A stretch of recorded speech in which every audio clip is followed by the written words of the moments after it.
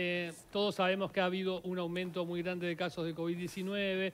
El gobierno tomó algunas medidas como eh, incrementar el teletrabajo, cerrar los gimnasios, una medida que también ha provocado en algunos mucha resistencia. Y se esperará hasta el 18 de diciembre para evaluar qué efecto han tenido y si es necesario tomar otras, ver qué evolución está teniendo la pandemia. Tenemos aquí presente al doctor Miguel Fernández Galeano, ex subsecretario de Salud Pública. ¿Cómo se está viendo el desarrollo de la pandemia desde el Frente Amplio?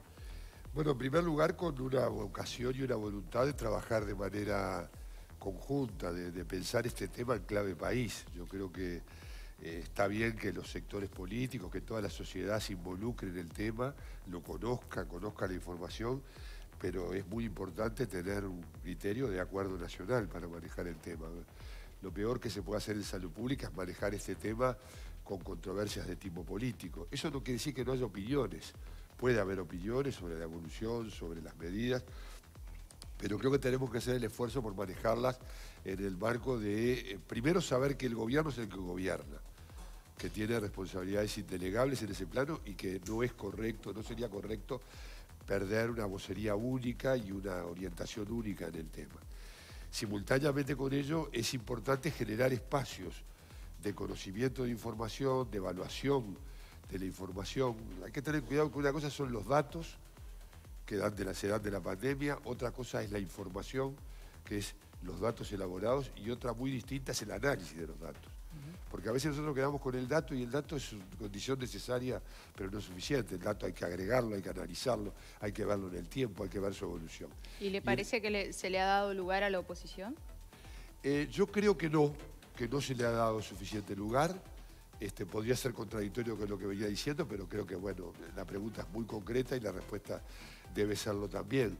Eh, ojalá, eh, siempre estamos a tiempo de que haya más lugar lugar a esto que estoy planteando yo, no lugar a tomar las decisiones. Las decisiones son del gobierno, ni siquiera son del grupo asesor científico honorario. Eh, eso es lógico, es correcto, forma parte. Nosotros hemos estado en, responsabilidades de gobierno como Fuerte Amplio y, a nivel personal y, reconocemos esas responsabilidades indenegables. Ahora, generar un espacio con la sociedad, y un espacio con las fuerzas políticas de articulación, de discusión, de involucramiento, de entonación conjunta, es siempre deseable. Eh, bueno, puede pasar, eh, se va, el Frente Amplio está proponiendo, les anuncio, creo que ya se ha dicho algo, pero digo, está proponiendo la creación de una comisión especial COVID, que ayer lo dejamos muy claro, yo estuve reunido con la bancada de senadores, la idea no es, repito, proponer medidas alternativas, generar un paralelismo en la respuesta a la pandemia, sino tener un espacio de evaluación de los distintos aspectos que están involucrados acá, el manejo de la información, la desagregación de la información por localidades, la vigilancia epidemiológica realizada con, una cuestión, nosotros ya hace tres meses le propusimos al Ministerio de Salud, esto es una medida que la posibilidad de hacer un abordaje más local en la vigilancia epidemiológica, no tener un abordaje exclusivamente centralizado, sino utilizar a los equipos de salud de primer nivel para que la tarea de rastreo, testeo y aislamiento se pueda producir de manera más rápida. Este, manejar eh, las disponibilidades asistenciales, tener un monitor que nos permita evaluar las disponibilidades asistenciales para tomar las mejores medidas e incluso en el tema más crítico, que es el tiempo, la orientación, y la intensidad de las medidas, tener un conocimiento que permita que si se proponen medidas, no son medidas que caen como un rayo, sino que son medidas que tienen una explicación, tienen un fundamento, se inscriben en un curso evolutivo de la pandemia y en ese marco este, todo el mundo las puede asumir mejor. O sea, hay tres cosas que no pueden pasar. No, puede haber miedo, lo hablábamos antes de, estar al aire. El miedo es un, elemento muy, muy negativo. La culpabilización, sea, si hay algo que no resuelve este tema es eh, el plantear la culpa. La culpa es tuya, es del otro. Si va bien, yo soy el responsable. Si va mal, no es mío. está, diciendo que eso hizo el gobierno. Eso está. Yo creo que el gobierno ha hecho las cosas muy bien en el inicio de la pandemia. Podría venir la pregunta pulsante enseguida de que el Frente este, planteó eh, la cuarentena obligatoria, cosa que no es así, el Frente no lo planteó. Algunas personas, entre ellas yo, en un momento pensamos que las medidas podían ser más, más, este, más enérgicas. Lo plantearon referentes importantes, entre otros el recientemente fallecido expresidente Tabaré Claro, eh, yo eh, cada vez que he entrado en ese tema, eh, y ahora sin la presencia física de Tabaré se vuelve capaz que hasta más difícil, yo lo dije, Tabaré en un programa manejó que no descartaba la posibilidad de llegar a la cuarentena obligatoria, que es distinto a decir estoy proponiendo la cuarentena. Es más, eh, Leo, en ese, mismo, en ese mismo programa, Tabaré estaba hablando de un, de un proyecto que justamente decía, no nos vamos a, entrar en la consideración de la coyuntura de la pandemia, esa es una responsabilidad del gobierno. Lo que vamos a hacer nosotros es un plan estratégico para pensar el día después. Entonces, yo creo que ese tema se magnificó. Sin duda el sindicato médico planteaba por esas fechas el, tema de la cuarentena obligatoria, pero yo creo que es un tema, es una cuestión que no es decisiva en la evolución de la pandemia, porque haber subido... Igual es el pasado también, tampoco tiene mucho sentido hoy. No, pero, pero al margen del pasado, lo importante es saber hoy que una decisión de una medida restrictiva más fuerte, en función de un conjunto de elementos que están arriba de la mesa, no puede ser nunca descartada.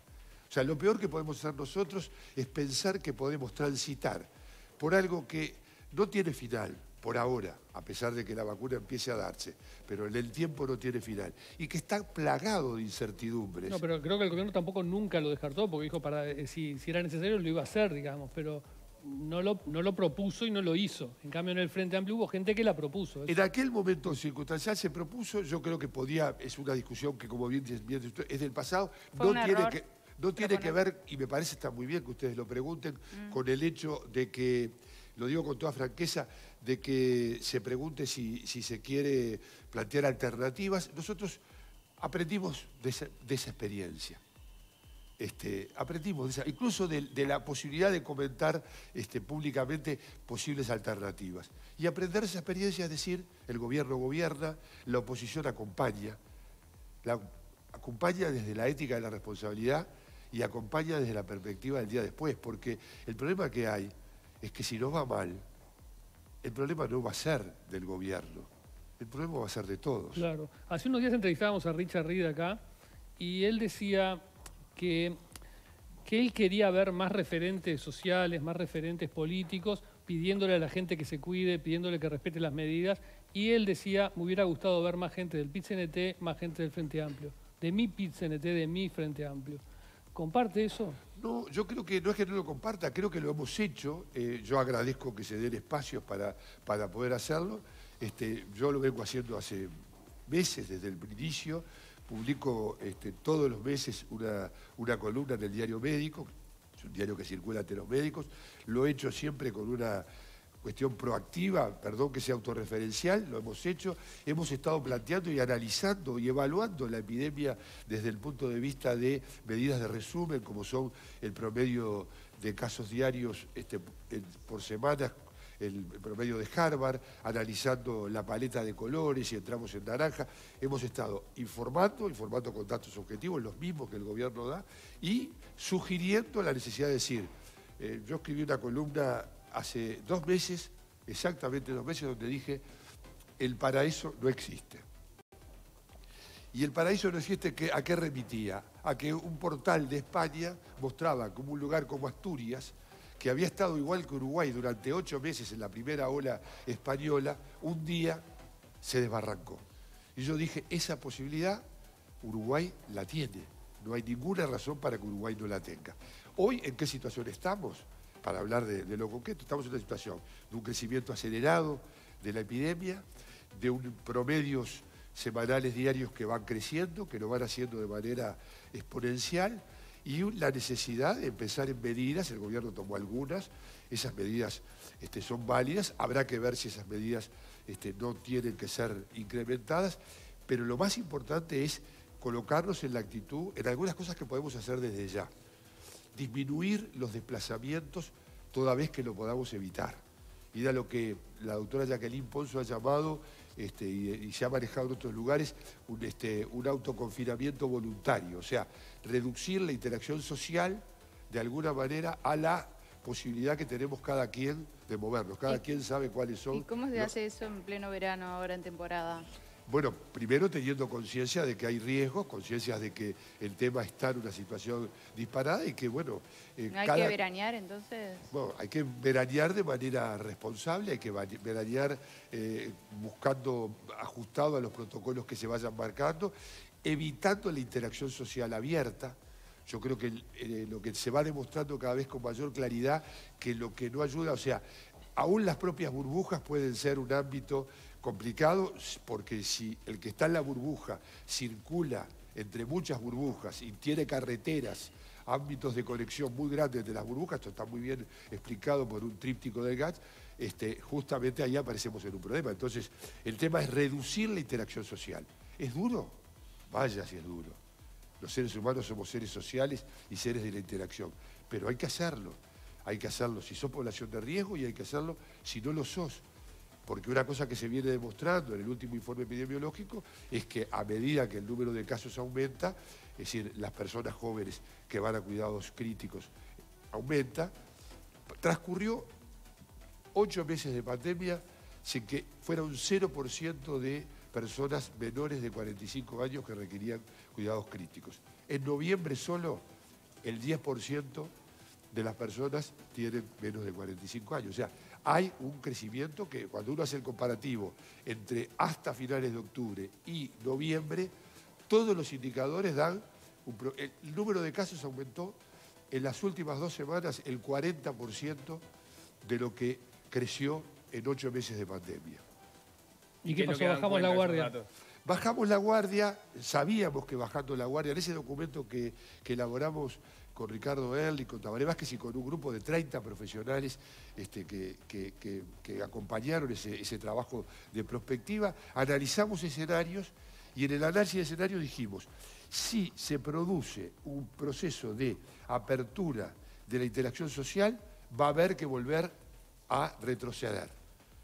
Este, le podemos poner el nombre de perillas, este, las cosas no hay que manejarlas en clave de ironía, pero es un concepto hasta epidemiológico, la idea de, este, hay un, epidemiólogo catalán, joven, muy joven, que se hizo famoso en el mundo, ¿eh? que justamente manejaba la idea del martillo y la danza, o el baile, de acuerdo a la traducción que queramos hacer, que era la idea de que esta pandemia, mientras solo se tuvieran medidas este, eh, no farmacéuticas, o sea, sin tratamiento y sin vacuna, de la única manera que se podía manejar con un virus que se transmite más que influenza, que el de la gripe, un poco menos que el del sarampión, pero que se transmite mucho, porque es silencioso y porque además se transmite en ambientes cerrados por los famosos aerosoles. Entonces, eso genera una, una dinámica de transmisión que hace que la interacción social se vuelva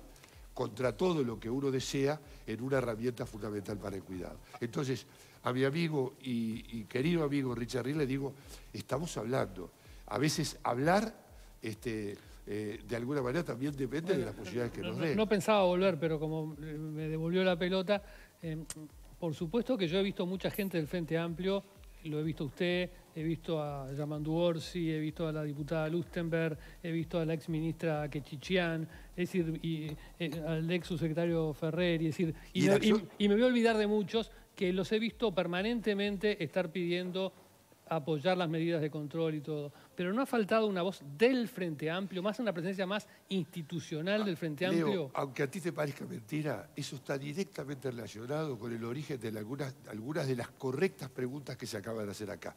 El Frente quedó en una situación en donde eh, la intervención sobre las medidas de la pandemia estaban bajo las sospechas sospechadas de una interacción con el, éxito del gobierno. Y yo creo que eso es una cosa que tiene que ver con la comunicación. O sea, eh, de alguna manera el Frente creo que tomó una actitud de plantear algunas cosas que sigue planteando, que la única manera de reducir la interacción social es si hay financiamiento, eso lo digo con todas las letras. O sea, si queremos reducir la interacción social, tenemos que tomar las medidas de apoyo a la sostenibilidad de la reducción de esa interacción social. Si yo le pido a alguien que no vaya a buscar el banco, le tengo que hacer una transferencia económica, como ha hecho el mundo, para que no vaya. Entonces ahí sí, ya no estamos discutiendo la medida sanitaria.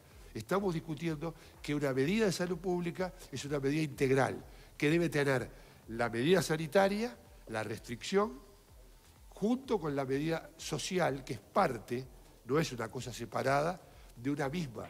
En salud pública... Lo que pasa es que nunca se dijo no ir a trabajar. ¿Eh? Nunca se dijo no ir a trabajar. Bueno, no, cuando hubo medidas, cuando hubo medidas de restricción, este, yo creo que si uno empieza a reducir, cuando se plantearon un confinamiento voluntario, libre, pero que finalmente fue un voluntario, ahí estaba planteado el tema y siempre va a estar planteado el tema de que si yo tomo una medida de restricción, pongamos el ejemplo controvertido de los gimnasios, si yo tomo la medida de los gimnasios, yo tengo que buscar la manera de darle sostenibilidad económica a esa decisión. Para eso que tengo que hacer, tengo que abrir la caja y tengo que ponerla arriba de la mesa a esa caja para que la medida sea posible. ¿Usted cree que a los gimnasios habría que haberle Economía y salud son un par dialéctico, hoy hay palabras que casi no se pueden usar, inseparable. Un par dialéctico que si lo desarticulo no hago ni salud ni hago economía. Porque además, si, la, si yo no respondo bien a la pandemia, la que se va a dañar es la economía en el mediano y en el largo plazo. En este caso concreto, ¿cree que tendría que haber habido un aporte económico a los gimnasios?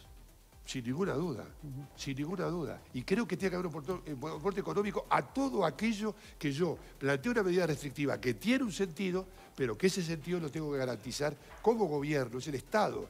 Yo le puedo transferir en estos momentos muy bien la responsabilidad de las personas, pero la responsabilidad mayor es el que nos representa a todos. Bueno, es decir, hay que volver al origen del Estado. El Estado es el Estado de la sociedad. No quiero discutir, el Estado no es una oficina, Leo. El Estado es el Estado de la sociedad. Entonces, cuando yo tengo una pandemia, yo como salubrista, como especialista en salud pública, yo tengo que poner al Estado a jugar un papel. Pero el empleado del, gimnasio va al seguro de paro, te dice em, al, empresario, digamos.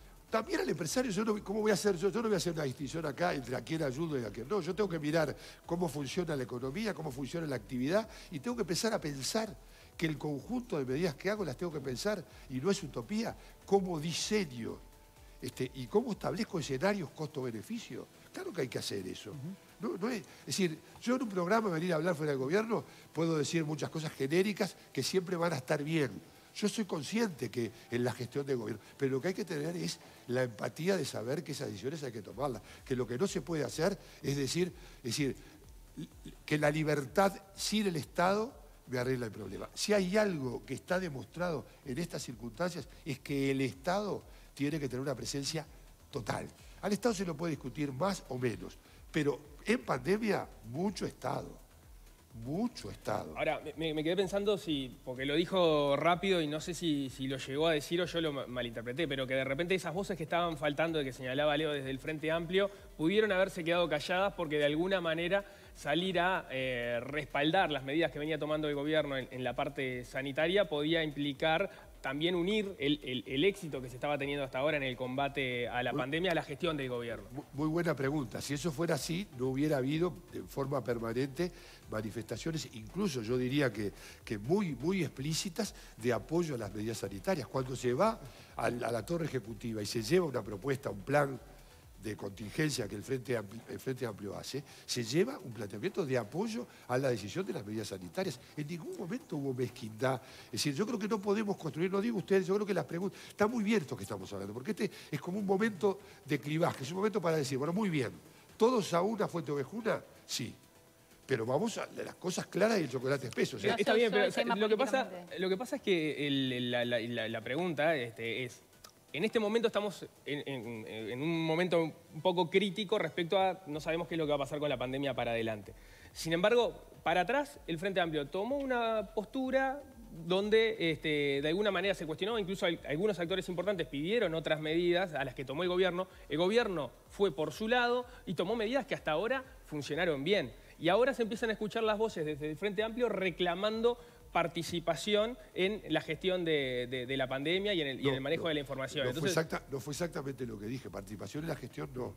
Es decir, generar un espacio de escucha para... Y, de propuesta. Y de propuesta Pero un espacio que no es el, de la controversia, no es un lugar para acordar las medidas. No está planteado una propuesta de acordar medidas con el gobierno. Está planteado un espacio en el Parlamento para manejar la información, para solicitarla, para conocer el fundamento de las decisiones de gobierno. Eso es lo que está estrictamente planteado. Es decir, no está ¿Ustedes entienden que hoy el gobierno no está explicando este, debidamente cómo está procesando las decisiones que va tomando? Yo creo, nosotros entendemos que es importante que nosotros, la oposición, el, nivel, el, ámbito de decisión política, el Senado de la República, el Parlamento Nacional, tiene que tener esa información, que la sociedad tiene que tener esa información y que esa información es vital a la hora de construir las rutas de salida de este tema. Porque en realidad, es decir, de alguna manera hay que intervenir, lo que yo creo que no hay ninguna duda, eso se puede decir con carácter genérico, o sea, es notorio que hay una evolución de la epidemia que requiere de, cambiar este, el tipo de respuesta. Yo no puedo seguir en la misma respuesta en la que venía. Creo que el gobierno y el GACH lo han asumido y creo que ahora lo que hay que hacer es empezar a ver cuáles son las medidas, cuál es el fundamento que tiene.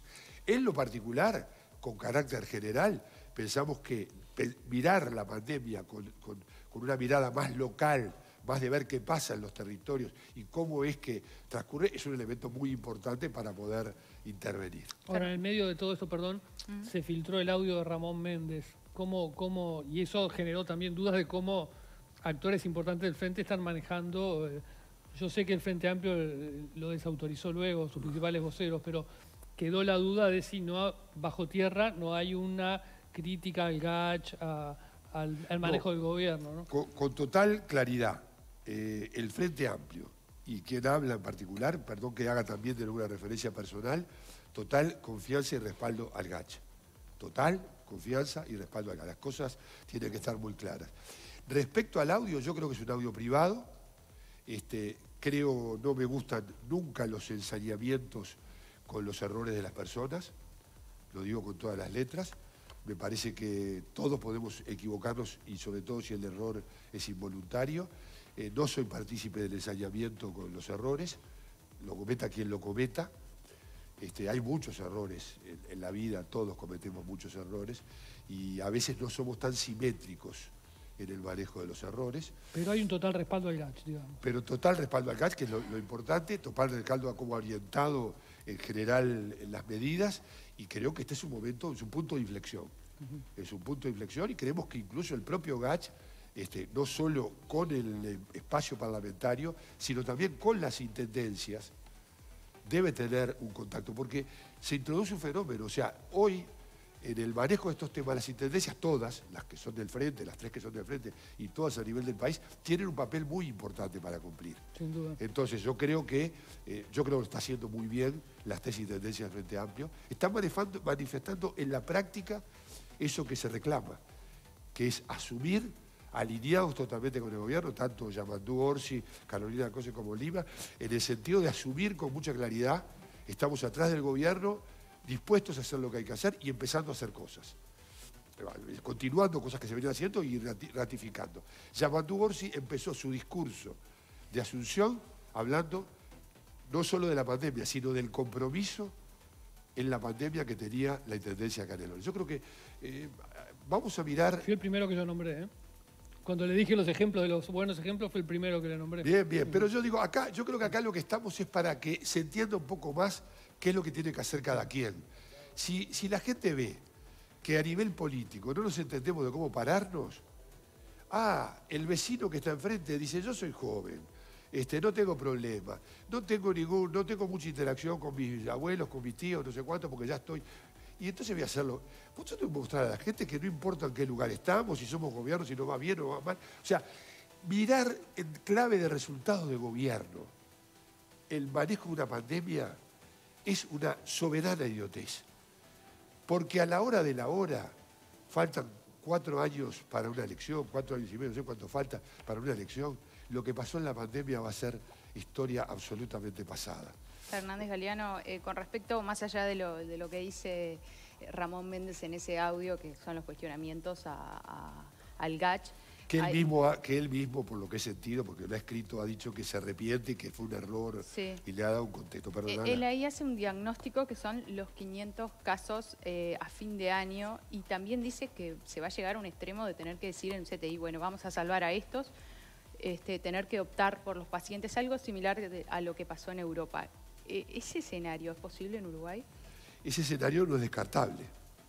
No, es buscar una buena declaración, que es un escenario que cualquiera en su sano juicio tiene que saber que eh, si nosotros no tomamos medidas, si no cambia el comportamiento general, colectivo e individual, ese es un escenario que nadie podría descartar.